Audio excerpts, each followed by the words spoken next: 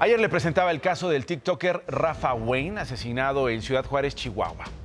Le tengo más información. Se dio a conocer que cinco personas fueron detenidas tras este hecho la tarde del martes en la colonia Toribio Ortega. Tras una revisión realizada por policías locales, se les aseguró a los detenidos un arma de fuego calibre 9 milímetros, tres cartuchos útiles y tres envoltorios de cristal.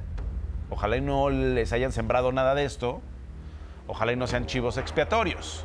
Al ser interrogados, dos aceptaron haber estado presentes durante el asesinato del conductor del taxi de aplicación.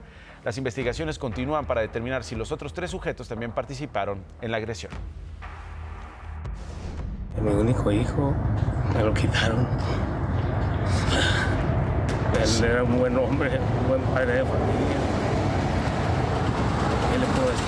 ¿Qué le puedo decir? Logramos la, la detención de cinco personas y dos de ellos como presuntos responsables de los hechos donde recuperamos el arma y ellos se, por vida voz nos platicaron los temas que ellos habían eh, participado en, esa, en ese evento.